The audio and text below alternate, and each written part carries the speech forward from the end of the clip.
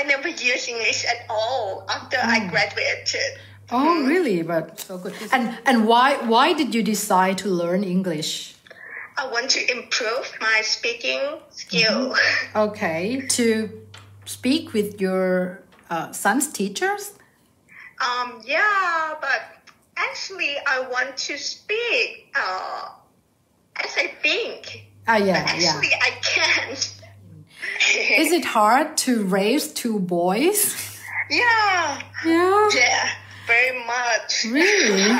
Because I have a boy, just one boy, and I, I'm started to, I'm starting to think like it's hard. I don't know if I'm gonna have the next one.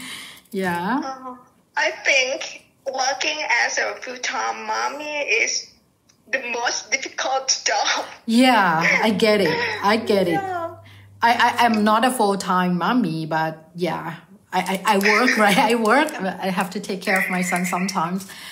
Yeah, I get like it. You have to. I, I, have to say that I can't remember all the stories. You don't have to. It's just uh, it's just information that you can remember and you can forget some. That that's okay. But what we need to do is to communicate. Okay.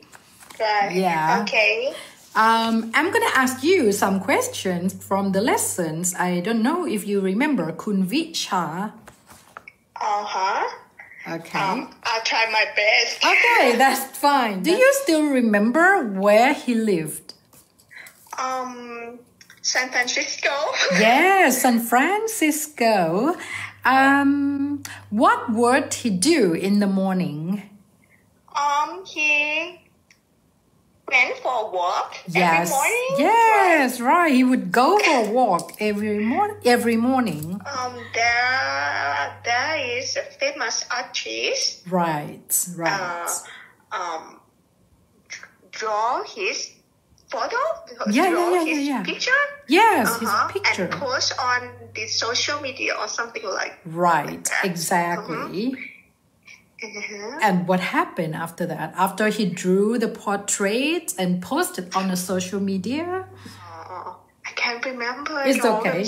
Some some people some people make uh, the portrait their profile pictures.